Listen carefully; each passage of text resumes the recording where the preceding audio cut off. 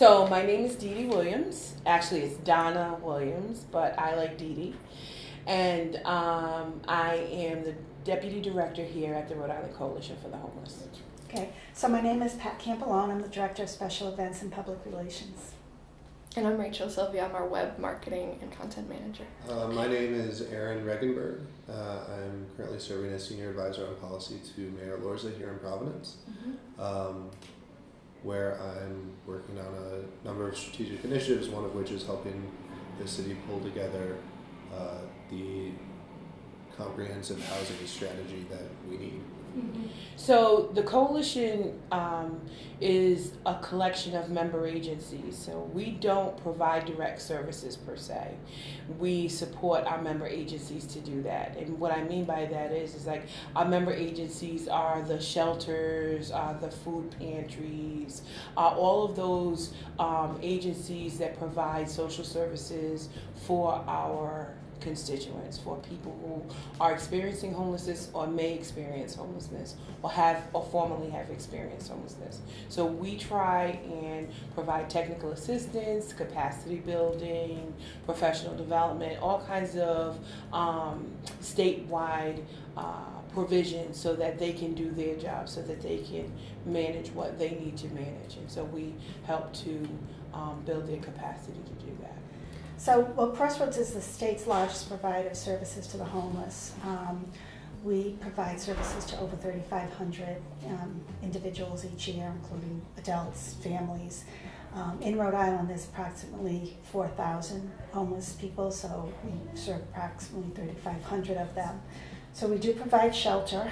I think most people have a perception that Crossroads is only a shelter, and the reality is that um, that's we're really in the business of housing people, and that is really our focus on securing stable housing for individuals and families. So, in, in addition, we do have some shelters. We have a women's shelter that um, accommodates 41 women. We have um, an emergency family shelter for 15 families. We had another emergency shelter in Warwick for 12 to 15 families, and we're actually now um, phased out the shelter portion and converting that to permanent supportive apartments. We also have a domestic violence program, so we have a domestic violence shelter at an undisclosed um, safe location in the area. Um, we have 104 units of permanent supportive housing in North Kingstown, beautiful apartments. Um, we have um, uh, elder, housing for the elderly, formerly homeless elders, age 50 plus. We have probably around the whole state, we have um, anywhere from like 25 to 30 freestanding properties. Some we own, some we manage for other organizations, and some we uh, you know, work with landlords continually to try and find affordable housing. Uh, we also operate the state's largest um, shelter for men called Harrington Hall, which is in Cranston. We took that over a few years ago, um, and we're operating that. That has about 108 men, 112 men every night that um, that stay there. Uh, we also provide education and employment services. We've graduated over 125 uh, CNA certified nursing assistant classes. We have um, a Roads to Success program. We have a resource lab where our clients could come and, you know, help with their resume, um, you know, skills, uh, developing their resume, job skills. And we have a learning center where we have instructors that work one-on-one with students who are um, either in a GED program or, or need some assistance um, in some, you know, some types of educational um, courses. And I'm probably forgetting, what else am I? probably forgetting something. We have three values here at Crossroads, safety, respect, and effectiveness. So safety is um, important, personal safety as well as, you know, safety in the surroundings. So we want to make sure that everybody is safe because they come in here with a lot of fears and a lot of anxieties and, and just feeling safe is, is very, very important, especially in a domestic violence, if having come from a domestic violence situation. And respect, we, you know, we respect everybody and, um, you know, whether it's, you know, internal, you know, our staff, our employees, as well as working with the clients, and, and then we strive to be effective in all we do. So a major cause, um, especially for women, is domestic violence, um, being, you know, uh, victims of domestic violence situation, and again, as I said, it could be just a number of uh, reasons why people, you know, people come to us. Um, they've just, you know, had a, a bad time in their in their life, and maybe they've burned some bridges, and they have no family here. You know, they may have moved here, they have no family to stay with. Um, some folks will couch surf with friends and, and for a while and family, but then sometimes you know that just doesn't sustain itself. Um, there are actually a lot of college students that are um, homeless and you know couch surfing and, and even staying in dorms with other people because they really have nowhere else to go. So. Um, and we and we ha- we find folks from newborn babies to you know, people that are in their elders. We've had um, police drop people off. we've had from getting out of prison. We've had uh, people, you know, being dropped off that, you know, in, in hospital johnnies that have been released from hospitals and have nowhere to go. Mm-hmm. Um, we also have a program now where we have funding, and we uh, it's a Department of Corrections program. So we have folks that are going into the um, prisons now and working with folks before they get released. Because mm-hmm. what happens is a lot of times they've been in prison, now they get released, but where do they go? What do they do? Yeah. So they end up back, not back at Crossroads, but at a facility like Crossroads. Mm-hmm. And you know they can very easily get back into the the same cycle without the support. So we have folks that are, go in there and work with um, these uh, clients to, that will be able to find housing for when they get out. So, you know, six months to eight months ahead of time so that we can really work with them and, and be able to help provide some continuum of service and, and get them housed and have a place to go as soon as they get out. Mm-hmm. So. Absolutely. We've had students who were homeless in college and because they don't live here in the state when they're when when there's a college break they can't afford to go home. So they they live here in their cars or whatever until the semester starts mm-hmm. again. Why why? Yeah. That doesn't make any sense to me. And you push them out when the semester's over, oh, you can't live there, right? The semester's over, so you can't live there. You don't give them anything so that they could possibly have a job. You make it impossible for them to get educated and work at the same time. You make you make it so that they can only go to your school, and, and their parents are probably paying an astronomical amount, right? So I mean, it's really I can't tell you how many students I've had and I've started asking them. This is how many I've had that I've started asking them now. Where are you staying? So the semester's about to end. Are you going home? Can you afford to go home? And how are you doing that? Because I found out the hard way that people were living in tents or on the street, you know, or, or doubling up and putting themselves at risk because, you know, they can't afford to go home something. So I think that we're a lot more than people think we are. And as I mm-hmm. said, this building is just one of you know one of the buildings that we're probably the most visible to people in Providence, like yourself. Um, you know, because we're close to the highway, mm-hmm. and I think people, you know, see the folks that come in and out, and I think they also have a perception of what a homeless person, you know, is or looks like, and um, the reality is that it, it's not. It could be any one of us. It could be homeless. And some of the folks that you see um, on the streets are chronically homeless folks who have severe mental health um, issues and things like that. And while we try and outreach to them, sometimes they're just not ready to get services. But those people you see represent only a very small portion of the population um, probably 80, 80 to 90 percent of all the folks we see were never homeless before and will never be homeless again. All they need is just some type of assistance to get them on their way. And it could be something that can happen to any one of us. It could be the loss of a job. It could be um, the death of a spouse. It could be a, you know, a major medical condition.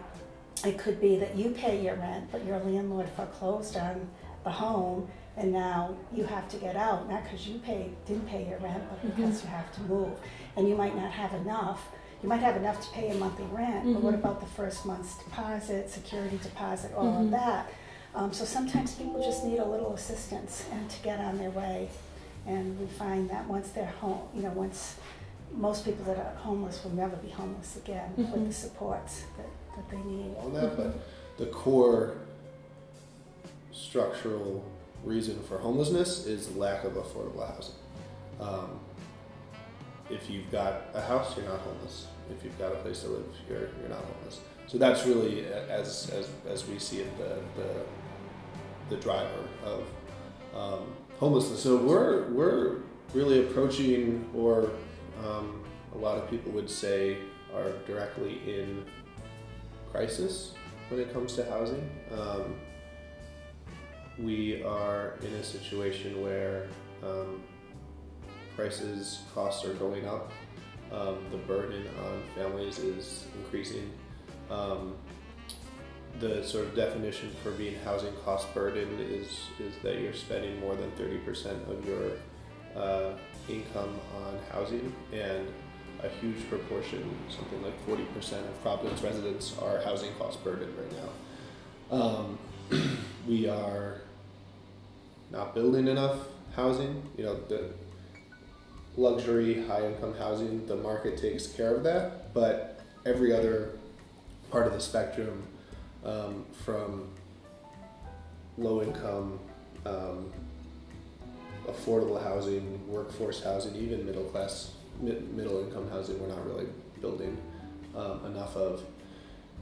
Um, and you know, a lot of families are facing displacement. Personally, I think, you know, one of the problems that I think exists here in Rhode Island is we're such a small state. We should have this issue down pat. We should know how to deal with this issue. Unfortunately, um, we have a problem with building, developing affordable housing units, right? And so we could want to put people into housing and think that that's the best thing for them, but we don't have enough housing stock to do that. Uh, we even have enough programs where folks are getting into programs and they're able to um, get find case managers and get the services that they need, but then trying to find them a unit um, is not it's just not happening. And so I think we need more resources in our state. I think the major problem why we don't have more resources in our state is because I think our legislators and our uh, policymakers don't really understand this issue. Mm-hmm. And I think that their understanding of the issue is what everybody sees. Everybody sees the person standing on the corner with a sign that says, Help, I'm homeless, and they think, oh, you know, that person is probably uh, addicted to dr- substances or probably has a mental health issue, and or they're probably conning us, you know, and they don't realize nobody is born saying, I want to stand on the corner in the rain and hold a sign. Something has happened to that person to bring that person to this place. And when that happens, we as a society have an obligation to that person to help them to negotiate these systems so that by the end of the day, they can go home. And, and I, when I say home, I mean a home that is their home.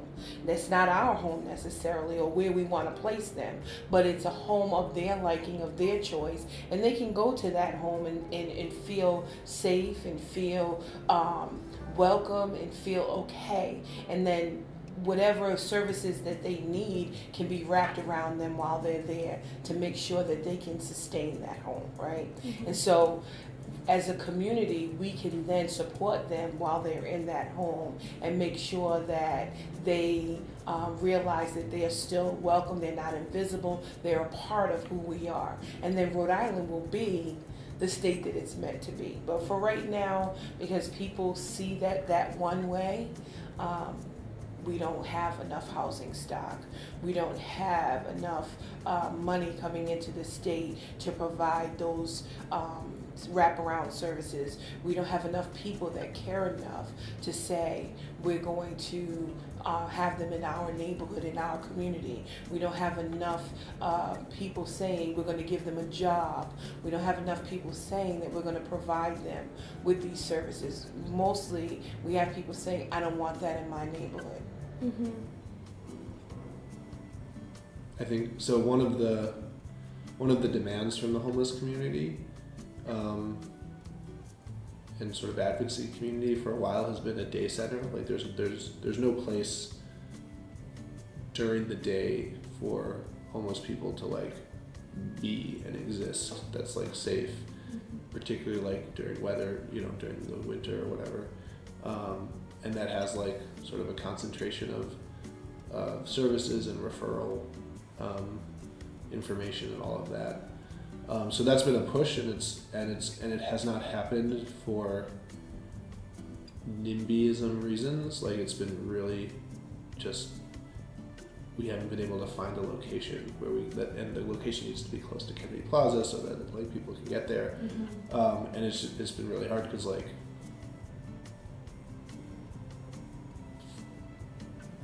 places everywhere we, we, we try to find like people are like no we don't want that near us. Mm-hmm. um, so that's a big challenge that we haven't been able to figure out yet um, but i think would make a big difference. Um, as a country we have not been investing enough in affordable housing. Um, you know we in the 1970s we were building hundreds of thousands of public housing units um, by the 80s, 90s, that, that had sort of gone down to a trickle, and since I think 1996, we have not built a single public housing unit in this country.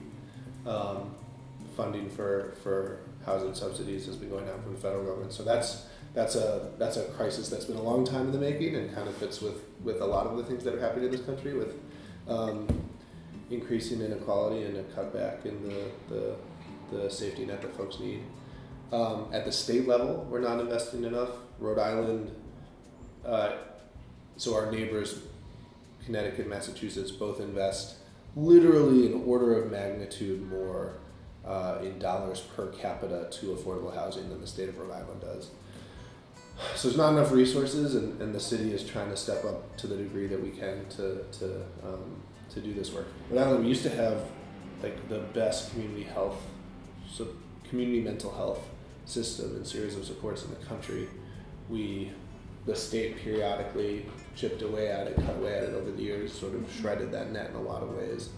Um, we we are the only state again in, in like our region that doesn't have a dedicated funding stream for affordable housing.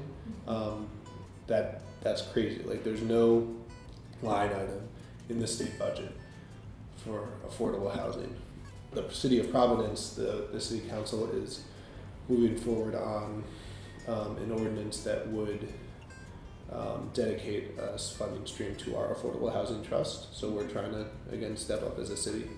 So for me, I would think that Rhode Island being such a small state, that we would have a direct funding stream that would speak only to homelessness, right? So there would be money that would federally come down that would be just for homelessness.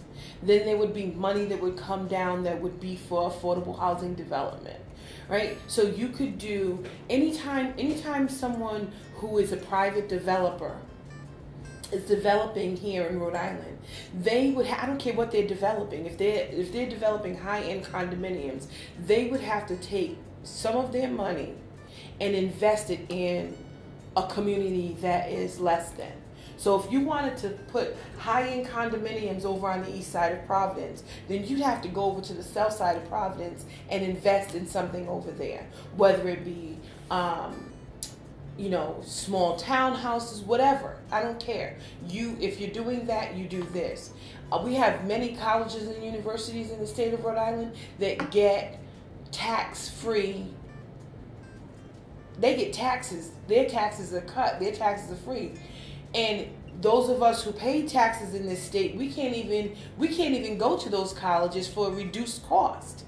Does that make sense? Mm-hmm. So if they're going to be tax free, if they're going to be exempt from paying taxes, then they and they're building all over our state. They're taking over. If they're doing that, then they should be able to invest in the communities in which they are. So if they are over on the east side or if they're over in Washington Park, like Johnson and Wales, Johnson and Wales is, is taking over downtown and, mm-hmm. and all over um, at Allen's Avenue. If they're going to do all that building that they're doing, then they should be able to invest in the communities and, and give back to those communities.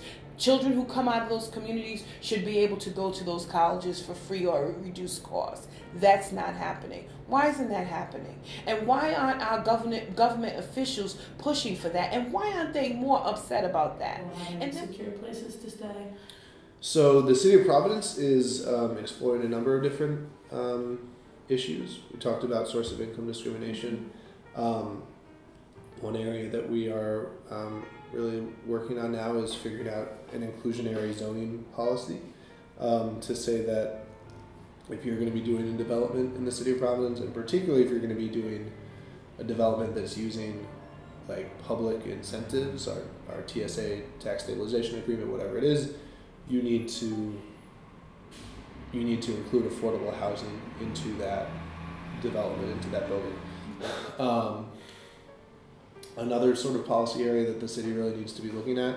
Um, I just sat down with someone from RISD um, to sort of, uh, I'm sitting down with, with folks from each college and university in the city to have a conversation about what is your institution's plan around student housing. Um, I was a student here in Providence, and I lived off campus, and and um, so I've I've been been through that. And having a huge population of students living off campus that impacts like the housing market. It creates a lot of upward pressure. If I'm if I'm a landlord and I'm just thinking about my bottom line, like I can get a lot more money charging like four or five students to be in one unit, each in, in a different room, right? That's like four or five income streams versus having one family in that unit. Um, so a lot of people are doing that, and what you what we're what we hear is so families are struggling to like find a place because they're all getting so having conversations with our colleges and universities to say what is your housing plan? Um, you know what percentage are on campus versus off off campus? Is there um, are there ways we can think about this in partnership strategically to incentivize um, denser living, whatever it is that, that can alleviate some of that upward pressure? Mm-hmm. Increase the minimum wage isn't the only way to sort of put more money in working people's pockets, but it's like a really good one. It's a tried and true one. Mm-hmm. Um, and there are cities across the country that are that are passing fifteen dollar minimum wages. There are states that are Connecticut just this week passed legislation to move towards a fifteen dollar minimum wage. Mm-hmm. Uh, so we're behind here in Rhode Island, um, and again, the same same thing. The reason people are homeless is because you don't have a home that you can afford to be in. The reason people are poor is because they don't have money, mm-hmm. and if they uh, are earning more for the jobs that they're working hard on, they're going to be able to better afford housing. Mm-hmm. So, um, yeah, if you if you're working a minimum wage job, if you're working two minimum wage jobs, there is not a there's not a place you can live in this state or in this city where you're not going to be housing burden where you're not going to be spending over 30% of your income on housing. And again, that's like that's sort of the healthy level because we need to buy up, we need to spend money on other things too to survive. Um, so there's state level legislation to ban uh, source of income discrimination. And so that's at the state level. And here in Providence, the mayor uh, has been um, pushing for and championing um, uh, passage of a city level ordinance um, that's been introduced by Council Councilor Rachel Miller um, to ban source of income discrimination here at the city level. Um, our hope is that it passes at the state level. That's where it should pass. But if they don't pass it there, we want to at least try to do it here in Providence. Uh, uh, so what a what a source of income discrimination ban does is say that I, as a landlord, cannot um, discriminate against you as someone who's applying to, to be a tenant in one of my apartments based on where your income comes from. Um, so that so people get their income from different places, right? they get it from a job, they can get it from Social Security, uh, from uh, you know veterans benefits, from disability, uh, or from uh, uh, housing choice voucher through the Section 8 program. Um, and what we have seen here, and you know, there's a lot of research on across the country, that there's a great deal of discrimination based on source of income in housing, um, and that can be for wherever that income's coming from. I think the the greatest uh, the greatest area of discrimination is around Section 8 housing choice vouchers. Um, and so we've got a lot of people, and I've heard so many stories, folks who have a voucher um, and they cannot find a place to use it. Um, they apply for 20, 30, you know, 40 places and just rejected, rejected, rejected. There are literally, there are landlords who will advertise, you know, it's blatantly on um, Craigslist or wherever, source of income need not apply. Um, we do we don't accept that. So that's bullshit. Um, uh, you know, it, it's discrimination, same as anything else. Um, I think there's a lot of other classist, racist, other things tied up in that. Um, and so what we're trying to do is um, is say you can't do that, um, and make sure that all of the vouchers that we have are actually being used. So it's it's not going to solve the problem by any means, but for you know a chunk of our most vulnerable residents, I think it can make a big difference. hope would be that this year, um, there's a few things that legislatively we need to take a look at. And so, one of those things is making sure that people are not discriminated against, um, you know, when, when they're when they're applying for housing, so that people who have Section 8 or have need affordable housing that they could get affordable housing without being discriminated against. Do you see Um, that a lot in the system? Absolutely. Um, so I think legislatively, raising awareness around those kinds of things and the discrimination and the um, the lack of affordable housing units and, and the lack of us developing affordable housing units. Um, I think that is a major um, thing. But I also believe that if we can get the attention of HUD, um, that we here in the state of Rhode Island could get more money being poured into our state. I think HUD needs to know that we have we have ways in which we could end this epidemic here.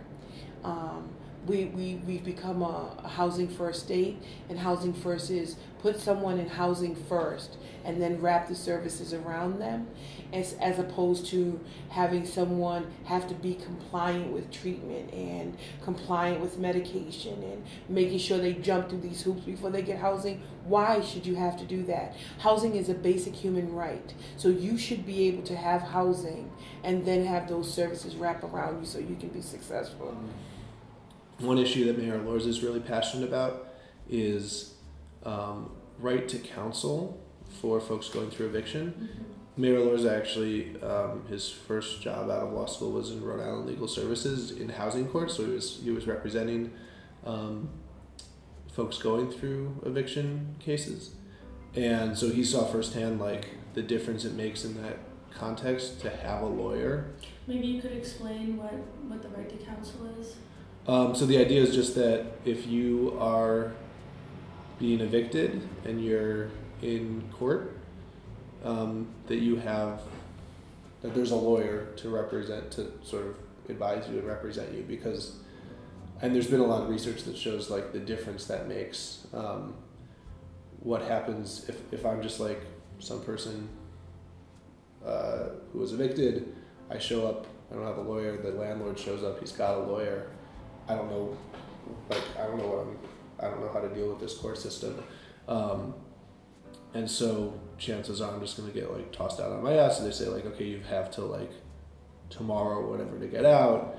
Um, versus having a lawyer representing you, um, being able to negotiate some settlement. That okay, you've got, you know, you have the next month to get your things in order, so that you have some time to figure out can I get like a deposit um, money together so that I can like find a next next house so that I'm not getting into the cycle of homelessness. I think th- like these things are political, right? I think it's that's an important piece to remember. Like some people being homeless, some people living in big mansions. That's not. I would argue that's like not a result of some of those people are smarter or like better or working hard, whatever. Like it's a series of ultimately political decisions about where are we putting resources, about about which communities are we valuing and investing in, and which are we extracting from.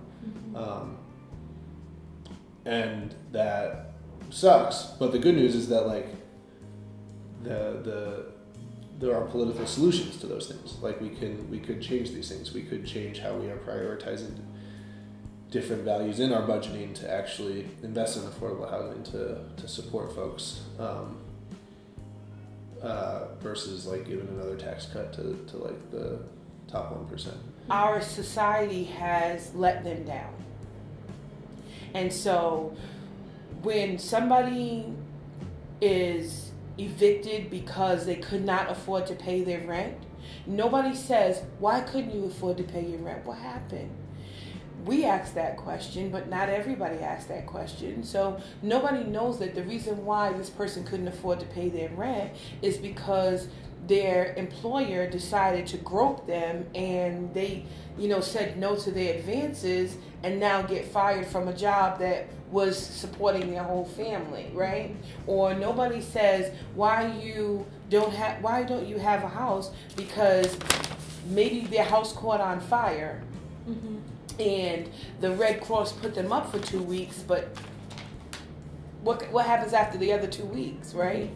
Um, or nobody says, "Oh, so you you you bought that house in Warwick, right? So what happened? Um, why why why don't you have that house anymore?" Nobody says, "Oh, well." Yeah, you're right. That was a prime, a subprime lender. So yeah, there was going to be a balloon payment later on, and mm-hmm. you didn't realize that. Like nobody, nobody knows these things. When mm-hmm. when we come out of our mother's womb, we don't come out with a book that says this is how you rent your apartment when you get to a certain age, and if these things happen, this is what you're supposed to do. Mm-hmm. So people become homeless because they have episodes where they can't afford to live.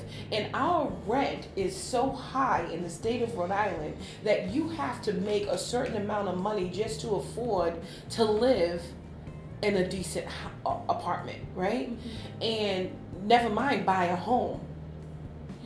And the jobs that we have do not give us the money to afford that, right? So there's a whole lot of things that I would say are systematic and socially um, problems that cause people to be homeless that people just really don't want to look at. They want to blame the person and not our systems and not our society and not our government um, regulations that have caused people to be homeless. But people are homeless not because they choose to be.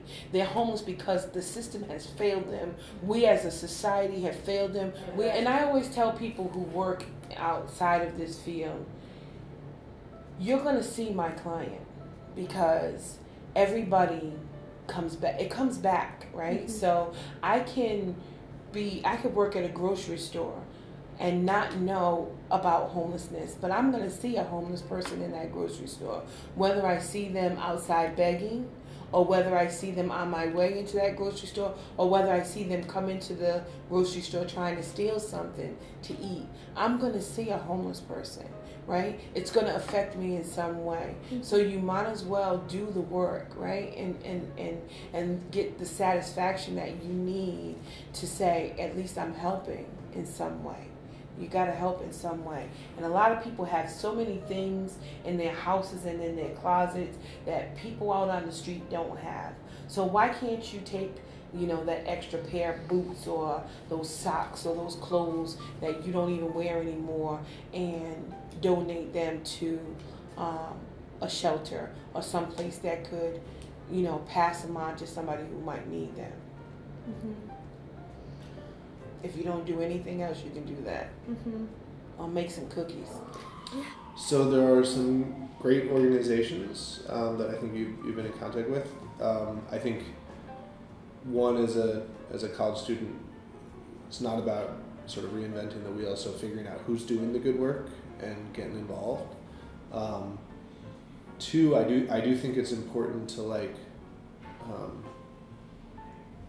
to be thinking politically about these challenges. There's service work that makes a big difference and is important um, in a day-to-day way, helping people. Um, there, you know, the Coalition for the Homeless does its sort of census. There, there's like that on the groundwork that makes a difference.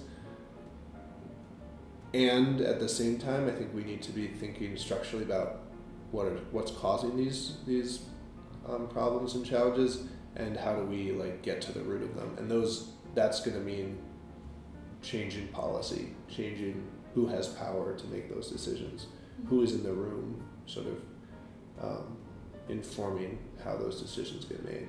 Mm-hmm. So, um, so I would I would encourage students to, to be get involved however they are most passionate about, but but to be thinking about how can I support some of the like organizing that's going on as well. Mhm. Um, and lastly, I mean, this is this kind of is kind of weird. I, I don't know how this fits together, but because I do think our schools have a role to play in this, and I do think that student housing is a piece of this. It's like being aware of that and um, being a voice uh, within those conversations with individual schools, saying we should like our as an institution we should be um, owning our role in this and like trying to step up and, and play a positive part in, in, in resolving the, the, this crisis. Mhm.